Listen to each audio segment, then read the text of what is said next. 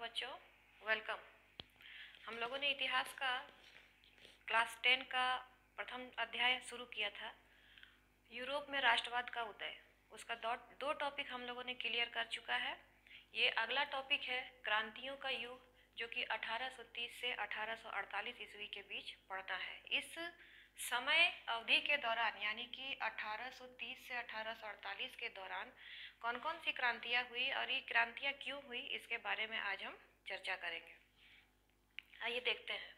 तो ये क्रांति चलाया किसने? तो लास्ट क्लास मैंने आप लोगों को बताया था, आप लोग को याद होगा कि क्रांति कभी भी अमीरों द्वारा या फिर गरीबों द्वारा नहीं चलाई जाती है। क्रांति जब भी चलाते हैं तो मध्यम वर्ग के लोग, शिक्षित वर्ग के लोग चलाते हैं। और क्यों चलाते हैं?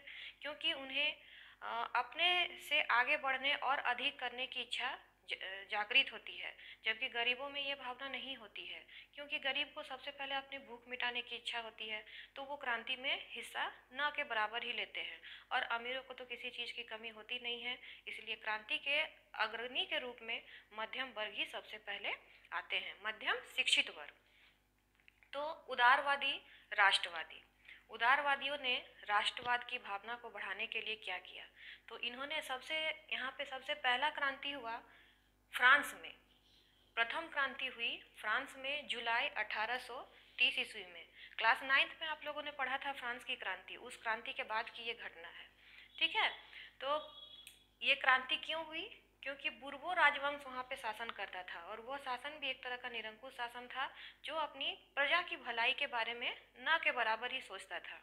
तो बुर्बो वहाँ के फ्रांस के लोगों ने विद्रोह करके बुर्बो राजवंश को समाप्त कर दिया और उस वक्त वहाँ का राजा था लुई फिलिप, जिसको गद्दी छोड़कर भागना पड़ा। गद्दी छोड़कर भागा और वहाँ पे राजतंत्र को समाप्त करके गणतंत्र की स्थापना की और फिर से लोगों के हाथ में अपना अधिकार या फिर अपनी ज़िम्मेदारी उनको सौंप दी गई। वहीं के एक लेखक ने कहा है, जिसका नाम है मैटरनिक, यह आप लोग को ऑब्जेक्टिव टाइप का क्वेश्चन में भी पूछ सकता है। इनका कथन है कि जब फ्रांस छिकता है तो बाकी यूरोप को सर्दी जुकाम हो जाता है। इसका मतलब समझ रहे हैं कि अगर हमें छींक आती है तो हमारे आसपास के लोगों को सर्दी जुकाम होने की संभावना रहती है। ये एक नॉर्मली डिज़ीज़ के रूप में आप जान सकते हैं। तो उसी तरह मैटर्निक का कहना था कि जब फ्रांस को, फ्रांस छींकता है तो बाकी यूरोप को सर्दी जुकाम हो जाता है। 1789 की फ्रांस की जब क्रांति हुई तो उस क्रांति के बाद भी यूरोप के बहुत सारे देशों में क्रांति हुई। क्योंकि, क्यों? क्योंकि फ्रांस को जब आज़ादी मिली तो बाकी देशों के मन में भी यह भावना जागृत हुई कि अगर फ्रांस को आज़ादी मिल सकती है तो हमें क्यों नहीं? इसी को मद्देनज़र रखते हुए पैटर्निक ने ये कथन कहा है। तो यहाँ से हमको एक ऑब्जेक्टिव टाइप का क्वेश्चन मिल जाता है कि अगर ये पूछे कि जब फ्रांस छींकता है तो बाकी यूरोप को सर्दी जुकाम हो जाता है, ये किसने कहा था? तो आंसर हो जाएगा मैटरनिक और अगर कोटेशन ही लिख दे कि जब फ्रांस छींकता है तो बाकी यूरोप को सर्दी जुकाम हो जाता है, यह कथन किनका है। ये आ जाता है आपका ऑप्शन वाला में। उस समय चार ऑप्शन रहेगा तो उसका आंसर आपको सिलेक्ट करना है मैटरनिक ठीक है? आगे आते हैं हम यूनान का स्वतंत्रता संग्राम। ये आपका क्वेश्चन आंसर टाइप में भी बुक में दिया हुआ है कि यूनान की, यूनान का स्वतंत्रता संग्राम पर एक संक्षिप्त टिप्पणी लिखे। तो इसके बारे, यह कब शुरू हुआ था? तो पंद्रहवीं शताब्दी से यूनान ऑटोमन साम्राज्य का एक हिस्सा था। ऑटोमन एक साम्राज्य था और उसी का हिस्सा था कौन? यूनान। यहाँ आज़ादी के लिए संघर्ष अठारह इक्कीस ईस्वी से प्रारंभ हो गई। यहाँ भी हमको एक ऑब्जेक्टिव क्वेश्चन मिल जाता है। कि यूनान में आज़ादी के लिए संघर्ष कब से प्रारंभ हुई? 1821 ईस्वी से।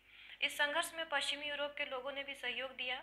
कवियों ने यूनान को यूरोपीय सभ्यता का पालना बताया। इस सेंटेंस का क्या अर्थ है?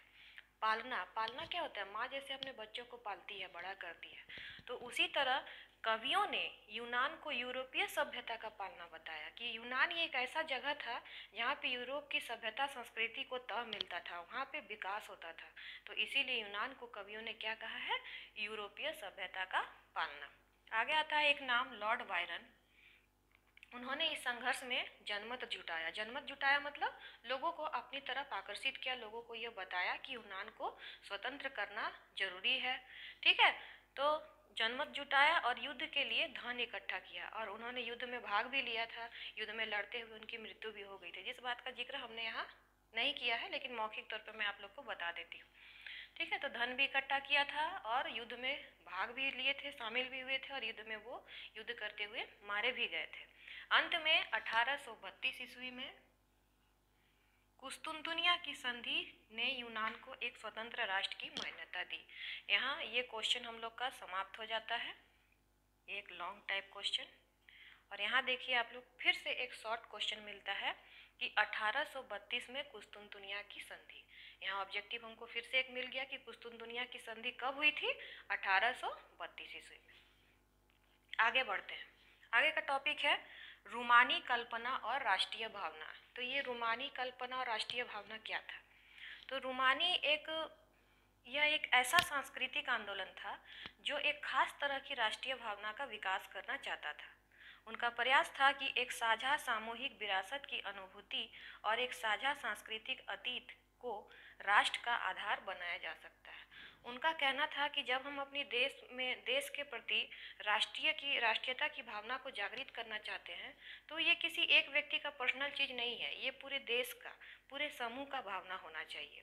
तो सांस्कृतिक विरासत या फिर सांस्कृतिक अतीत, जैसे एक हम लोग देखते हैं कि हमारे छोटे मोटे गाँव का उदाहरण ले सकते हैं, कि गाँव में जैसे एक मंदिर रहता है तो मंदिर को क्या हम अपना कह सकते हैं कि ये मंदिर मेरा है? हम कभी नहीं कहते, हम ये कहते हैं कि ये मंदिर हमारा है, और उस मंदिर के लिए हम लोग जो भी करते हैं, सामूहिक रूप से करते हैं तो ये क्या हुआ? एक साझा भाव हुआ, अपने गाँव के प्रति तो उसी तरह एक देश के प्रति भी ये साझा भाव होना चाहिए। तो ये क्या था? रोमानी कल्पना। और इसी कल्पना के आधार मानकर वो राष्ट्रीय भावना को विकास करना चाहते थे। आगे आते हैं कि यूरोप में और क्या क्या घटनाएँ होती है। तो भूख, कठिनाइयाँ और जन विद्रोह एक बात ध्यान रखिएगा कि 19वीं सदी में यूरोप में जनसंख्या में काफ़ी वृद्धि हुई।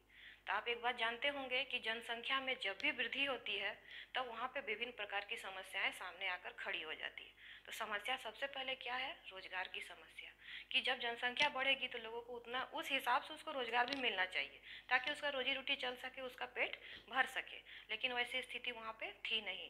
लोग गरीब थे, भूखमरी आ गई थी, जनसंख्या में वृद्धि हो गई थी, लोगों को रोज़गार के अवसर नहीं मिल रहे थे। गाँव के जो किसान थे, वो लोग काम की तलाश में शहरों की ओर भाग रहे थे। और वहाँ पे जाने के बाद भी उसको क्या छोटे छोटे बस्तियों में रहना पड़ता था जीवन यापन बहुत ही बुरी तरह से उन लोगों का गुजरता था। और सबसे बड़ी बात थी कि वहाँ पे उस समय यूनान में सूती वस्त्र का काफ़ी उत्पादन हो रहा था और घर में जो मजदूर लोग थे, अपने घरों पे बुनकर जिसको कह सकते हैं आप, जो वस्त्रों का अपने घरों पे छोटे मात्रा में उत्पादन करते हैं और ठेकेदारों को बेचते हैं, उसको हम बुनकर कह सकते हैं।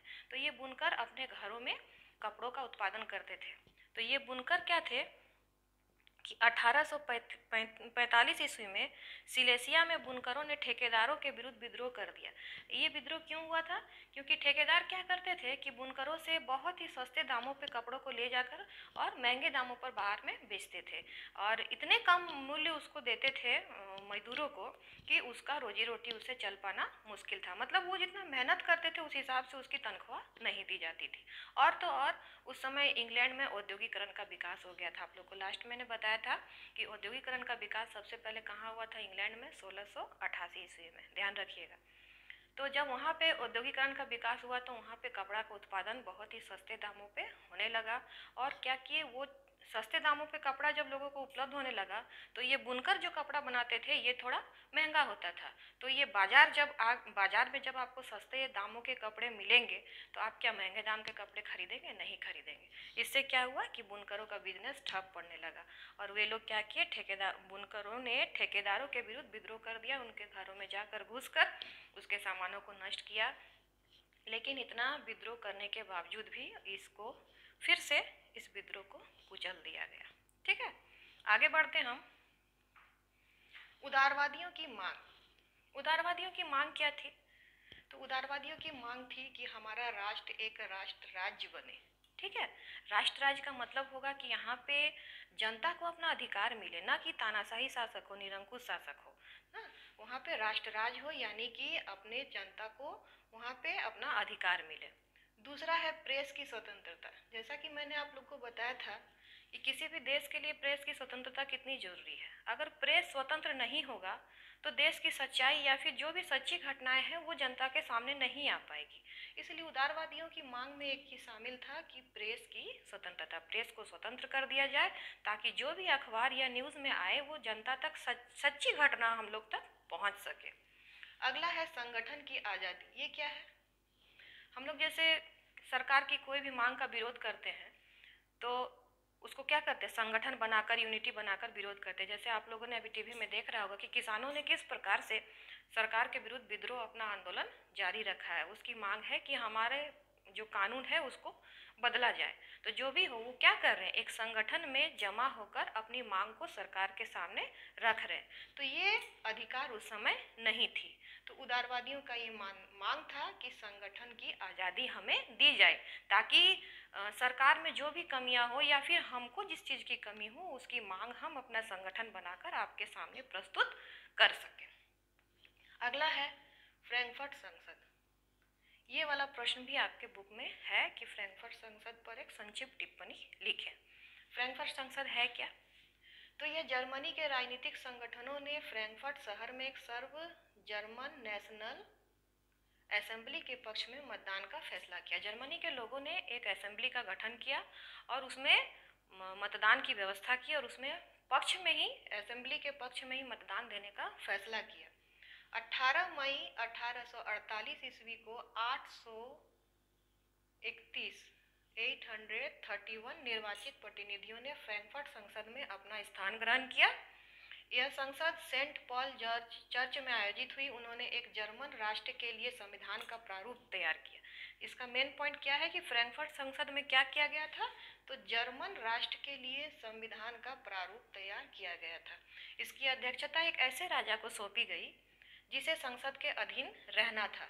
परंतु प्रशा के राजा फ्रेडरिक विलियम इसे ही सौंपा जा रहा था। फ्रेडरिक विलहम फोर ने इस पद को ठुकरा दिया, जिससे कुलीन और सेना का विरोध बढ़ गया।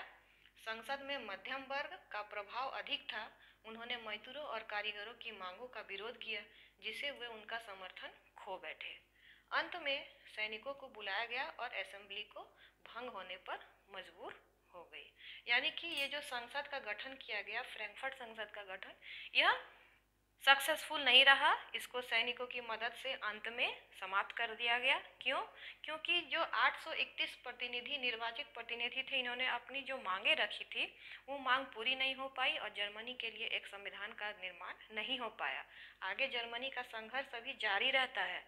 आगे हम क्लास में पढ़ेंगे कि जर्मन जर्मन की एकीकरण की प्रक्रिया का वर्णन करें। क्वेश्चन इस पर दो क्वेश्चन आपको मिलता है। कि जर्मनी के एकीकरण की प्रक्रिया का वर्णन करें और अगला है इटली के एकीकरण की प्रक्रिया का वर्णन करें। तो जर्मनी का जो संघर्ष की कहानी है, वो यहाँ पे समाप्त नहीं होती है। शुरू भले यहाँ से होती है, लेकिन आगे फिर से जर्मनी के एकीकरण की प्रक्रिया शुरू होती है, तब जाकर जर्मनी एक राष्ट्र राज्य बनता है। यहाँ पे ध्यान देने बात, वाली बात है कि महिलाएँ तो आप लोग को मैंने पहले ही बताया था कि उस समय यूरोप में महिलाओं को मतदान देने का अधिकार नहीं था। महिलाओं को भी नहीं था और गरीब मजदूर लोगों को भी नहीं था, जिसके पास संपत्ति नहीं थी। तो महिलाओं ने अपनी, अपने अधिकारों को पाने के लिए अनेक राजनीतिक संगठन बनाए और उन्होंने कई प्रकार के न्यूज़पेपर पत्रिकाएँ वगैरह प्रकाशित की, लेकिन फिर भी उसकी मांग अभी तक पूरी नहीं हो पाई थी। उन्हें मतदान देने का अधिकार नहीं मिल पाया था। लेकिन इतना कुछ होने के बाद यूरोप के सम्राट को या फिर यूरोप के शासन व्यवस्था को यह बात ज़रूर एहसास हो गया था कि ये जो उदारवादी क्रांति है, क्रांतिकारी है, जो भी अपनी मांग कर रहे हैं, इस मांग को हमको कुछ हद तक मान लेने में ही हमारी भलाई है। क्योंकि अगर हम नहीं मानेंगे तो फिर से ये क्रांति करेंगे और क्रांति के बाद क्या होता है कि हमको अपना गद्दी फिर से छोड़ना पड़ जाएगा। तो इस बात के भय ने राजाओं द्वारा यह काम किया गया कि क्रांतिकारियों को, की मांगों को रियायत दिया गया। उसे सांत्वना दिया गया आश्वस्त किया गया कि ठीक है, आप जो मांगे हमसे कर रहे हैं, वो मांग को हम आपका ध्यान में रखेंगे और हम कोशिश करेंगे कि आपकी मांग को पूरा करेंगे। तो यहाँ तक आपका ये वाला टॉपिक जो है, क्रांतियों का युग 1830 से 1848 ईस्वी समाप्त होता है। इसमें हमको कुछ ऑब्जेक्टिव भी क्वेश्चन मिले और दो आपको लॉन्ग टाइप का क्वेश्चन मिला, ये वाला ही। यहाँ से यहाँ तक। फ्रैंक फ्रैंकफर्ट संसद की संक्षिप्त टिप्पणी लिखे फ्रैंकफर्ट संसद के बारे में और दूसरा है यूनान का स्वतंत्रता संग्राम। तो ये टॉपिक आप पूरी तरह से इसको याद करके लॉन्ग टाइप क्वेश्चन में तैयारी कर लीजिए और शॉर्ट देखिए मैंने टिक कर दिया है और तीन चार शॉर्ट क्वेश्चन भी आपको मिल जाएँगे। ठीक है?